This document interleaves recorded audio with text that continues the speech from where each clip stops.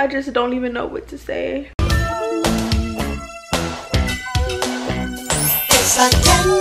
Hey guys, welcome back to another by Candice Jones production. Today's video is going to be another in the day of a day in the life of an entrepreneur vlog. You guys seem to really be liking them and i'm so surprised. So if you do like them make sure you give this video a thumbs up and also make sure you subscribe to my channel if you haven't already. I post every wednesday and sunday so make sure your post notifications are on so you never miss a post. So it's like 9 a.m and i just woke up.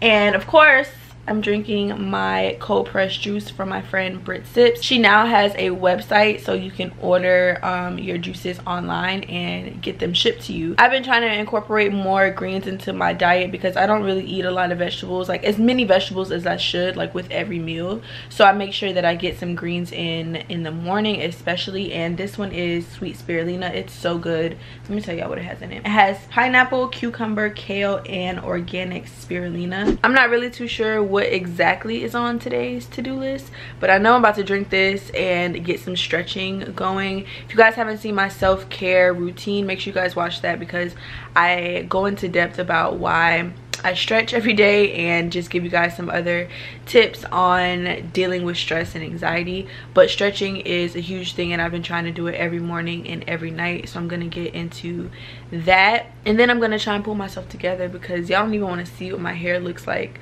underneath this daggone bonnet it's really a hot mess. And i want to be one of those entrepreneurs that like you know get all cute like pull themselves together and like just be walking the streets looking like a whole boss. But that's not me. I look like a 12 year old whenever i'm doing my errands. And that's fine for right now. But i'm trying to do better so i might put on some makeup or something but i don't know. But first let's stretch. While i stretch i'm gonna be listening to a podcast. One is the Unpack and Bounce Back podcast with Skye Townsend and Raina Biddy. And then the other one is, and that one's just about kind of finding inner peace and growing as a person, as a woman. And then the Flourish Effect podcast, which my girl Naturally Sunny put me onto. And this one is more about influencer life and being a creative and tips and stuff like that to help you grow as a creative and i've also downloaded the shameless life podcast. I haven't really listened to much of it but it seems like it's going to be really good so i'm going to share that with you guys too. She is a entrepreneur but she talks about um so many different things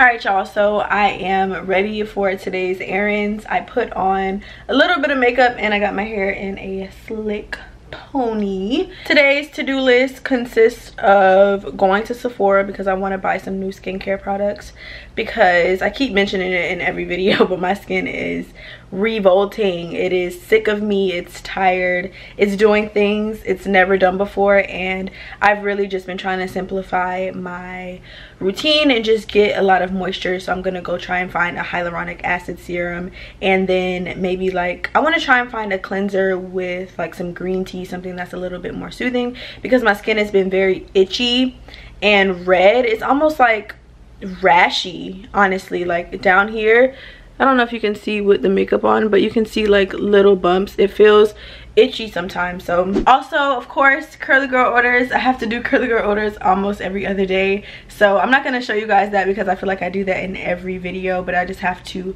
pack and ship some orders. And then also, I did a giveaway for the Fenty skin products because I ended up getting two packages. So so I'm going to be shipping this bad boy off today as well to the giveaway winner. It was a very quick flash giveaway on my story. So make sure you guys follow me on Instagram by Candice Jones. And watch my stories if you want to win, you know, some free things here and there. But let me show you guys what I'm wearing. Very basic, but I'm going to show you anyway. Biker shorts are honestly like my entrepreneurial uniform. I just feel like they're just so comfortable with my on the run t-shirt backpack is from Just Fab and then these sneakers which are the Nike 270C in all black. Before I leave I decided to it is storming outside like I'm very afraid. I made me a little bit of breakfast, which isn't very appetizing. I just have some boiled eggs and some avocado. I'm trying to cut out starch as much as possible. If you're a guy, you might want to cut out right now. Do y'all hear the thunder? But I went to my gynecologist and I've been struggling with like yeast imbalance or whatever and she told me that my diet was probably the culprit. It's been reoccurring for literally at this point over six months so she told me that i need to cut sugar and starch and that will probably help with the issue on top of you know an antifungal or whatever. I'm not sure if that was tmi but i'm sure most of us deal with it. So this is what this is what we're having. This is this is the life that we're living currently and i'm very sad about it. Bro it is storming outside like storming. Within like the past 20 minutes it just started storming. I can't deal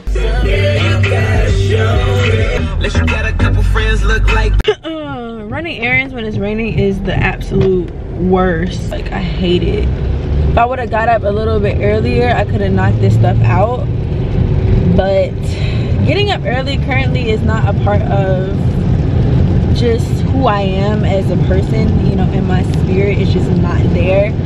And I came across this Instagram called the Nap Ministry and it's all about going against the grind and resting and relaxing and putting that before kind of grinding yourself to you know you have nothing left use that as my excuse. That's why i don't wake up early because i need my rest and i prioritize that over grinding and success. But honestly i wish i would have got up a little bit earlier because this is crazy. But yeah my first stop is fedex. I have to pick up some supplies that i had shipped and um what else? I have to go to publix to pick up my prescription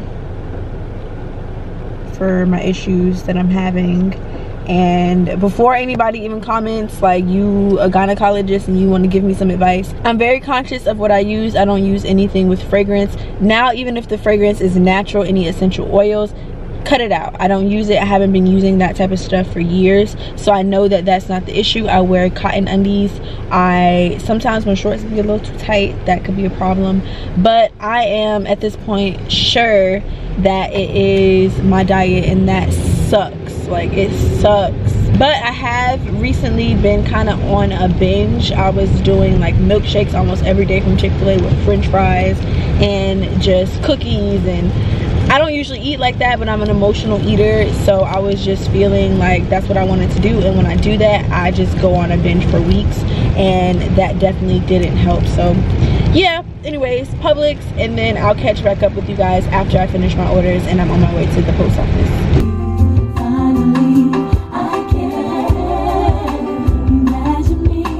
Got my packages secured now i'm headed to the post office. I printed all my labels when i was at the house so i was able to just pack everything up and put them together at the shop. I didn't have to go back home and then weigh them and do all that. I'm kind of getting a good idea of how much the package is going to weigh so i was able to do it beforehand. So that is a good time saver today. So post office and i'm so hungry. I didn't eat anything and you know that breakfast breakfast wasn't really wasn't much. So i'll probably stop and get a salad from somewhere and then head to sephora for some new skincare. Ended up going to panera got a salad and some soup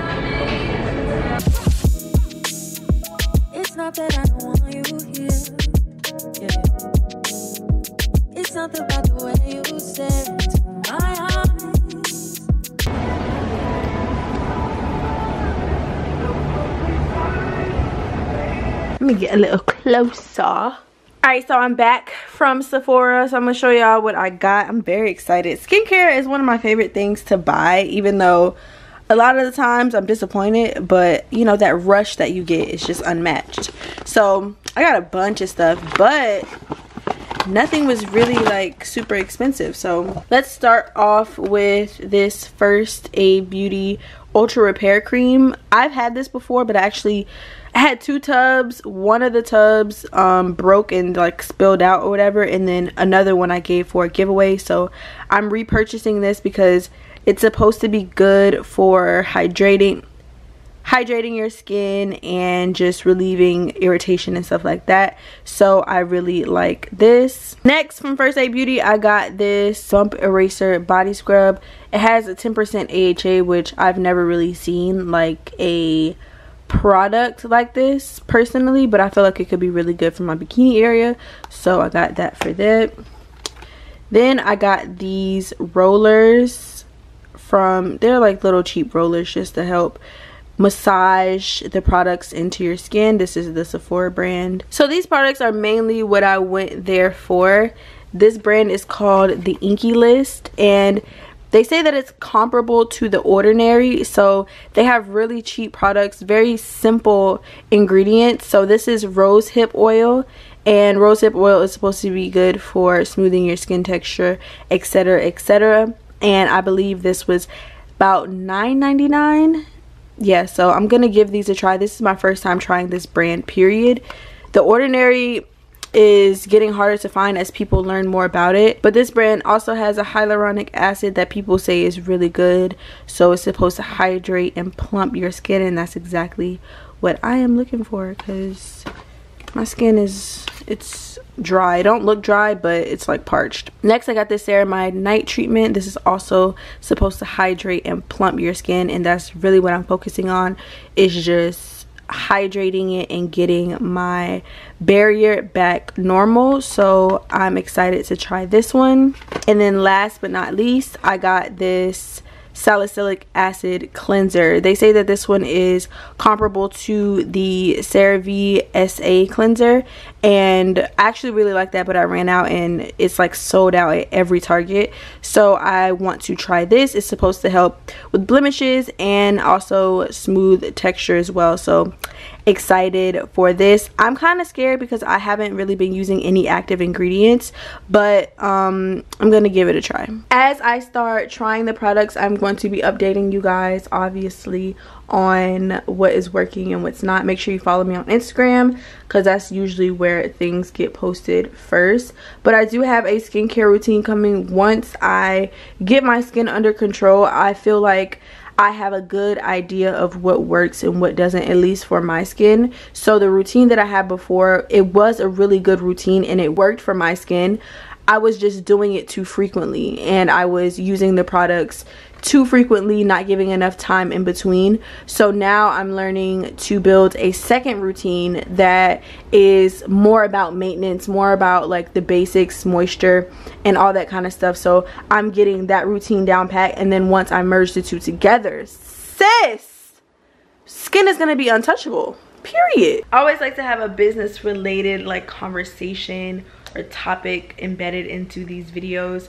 And today the topic is going to be hiring and firing because I personally in my entrepreneurship journey just got to the point where I'm hiring people and right now I'm going through the process of firing somebody and it's stressing me out. So I'm not sure how many of you know but I'm working on a self-love workbook and this is one of the hardest projects that I've done. This is way past like doing merch or you know putting out videos and all that kind of stuff like this is serious business. And because i want it to be something that's very professional i want it to be in targets i want it to be in stores i want it to be in barnes and nobles i want it to be published like i want it to be top tier. I don't want to just slap something together and even if the content is there i still want everything to be cohesive. I want the aesthetic to be there. I want the vibe to be there on top of the actual content being there. So with that being said i hired somebody and i hired somebody on upwork. Her work looked good. Her projects her previous projects like her portfolio looked good. She had some good graphic design stuff. And i hired her to one to create a logo and two to design the interior of the book. So editorial design. So i would type everything out tell her exactly what i want give her a rough draft and she can then turn that into something that looks visually appealing that um is just clean and nice. So we're gonna hop into my computer because I'm gonna show you what I gave her and then what she gave me. And I'm gonna let y'all tell me if I'm tripping. But sis gotta go anyway, but tell me if I'm tripping. Hold on. So I was working with a amazing illustrator and she sent me over this illustration. I have three different stages that are going to be in the book and each one of them has a unique illustration. So I sent all three of those over to the girl that I wanted to design the interior of the book just to draw inspiration. I sent her the cover and I also sent her the description of the book along with a Pinterest board. And this is what I received back. Now I'm not going to show y'all too much because I don't want to give away any of the workbook but just based off this first page let me know what y'all think does this not look like second grader-esque coloring book-esque? I can't like it just doesn't have the refined feel that i felt like i gave her the direction to give me. So now i've decided that i'm going to do the interior by myself. I'm going to design it by myself unless i can find somebody that can do it quickly because I really need to get this to print because I want it to be done. I wanted it to be done this month but that's not gonna happen so I want it to be done next month and I'm getting a lot of copies so I really need to get it over to the printer so they can start actually manufacturing and printing the book. So I don't know. She sent me that at this point two weeks ago and I have yet to respond because it just gives me so much anxiety to have to tell somebody that they're not going to be a good fit for my project. And it's not even a matter of like oh giving her more direction giving her more direction. She just doesn't understand the essence like the core of the actual project. So when you're finding help find good help and find people that understand the message that you want to send because it's not just like a text it's not just a font it's not like oh that one's ugly that one's not. Does that speak to what it is that i'm trying to portray? When people get my workbook is that what i want them to feel when they see the first page and it's not? I can tell by how far off she is that it's just not gonna work. And as a black woman who is creating something that i want to be edifying for black women i feel like maybe that's where i went wrong that I hired somebody who doesn't really understand that and doesn't get that. So I've worked with women who weren't women of color in the past and it's worked out great but i think it depends on the project and it also depends on the person. But i'm sad and this isn't even the first thing. Like the first thing was the logo she sent me over just weren't it. Like i can create a better logo. As a creative when you're creative it's so hard getting other help because you know so much about so many different things that just basic things won't do it for you. Like i know how to use photoshop. I know how to use illustrator. I can create a logo if i wanted to but i'm coming to you because i want it to be top tier. Like i want it to be something so out of my wheelhouse creatively that is gonna make me feel like it was worth paying for. And unfortunately she isn't you know giving me that I just don't even know what to say. So that's what I'm gonna do tonight. tonight, I'm going to make sure that I draft up a message to send to her because I need to allow her to move forward with the project. She hasn't even hit me up. I feel like she know that it's not it. But yeah, I'm sorry if this was a rant, if this was a ramble. But finding help is good and when you get to a certain point you need other eyes you need other people you can't be everywhere at once but also make sure that you're vetting people well and when it comes to firing if you are struggling like i am know that you're not by yourself it does bring up a lot of anxiety for me but it's something that i'm gonna have to push through because For dinner, we are having some brown stewed chicken. I've had this marinating for probably about an hour when I first got home. It has browning in there, some scallions, some ketchup, brown sugar, and then some seasonings. Once the pan is nice and hot, I'm gonna go ahead and add the chicken thighs to the oil. Well, this could have been hotter, but only have three because it's just me and I don't like eating the same thing all the time. I'm just gonna pour the rest of this marinade in here. Once the chicken is nice and brown, I'm gonna add some chicken broth. Just a little bit, because I only have a little bit of chicken. and some tomatoes. And I added just a teensy bit of flour to thicken up the sauce. And you just let it simmer. And that's my brown stew chicken. I'm not Jamaican, but it tastes good to me. Dinner is served. And as you see, I have a little bit of rice over here. I needed some rice with this meal. I just couldn't go without. And some broccoli and my brown stew chicken. It's 1.30 and I'm tired. But I just took a shower and did my skincare routine.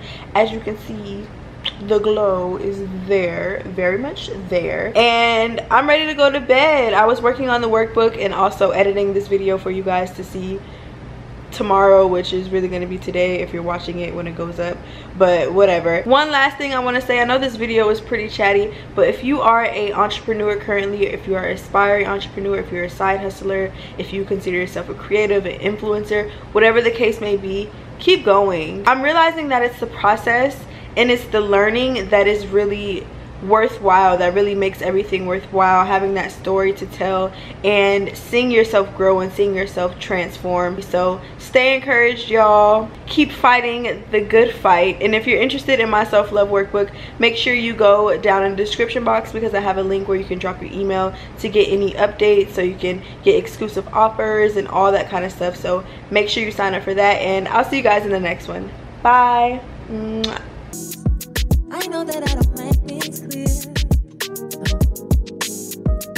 fall for you every time I